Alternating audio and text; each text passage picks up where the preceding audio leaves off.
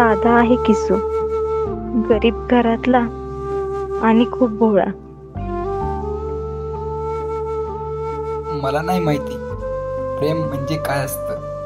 पण मी जे केलं ते खरं प्रेम आहे.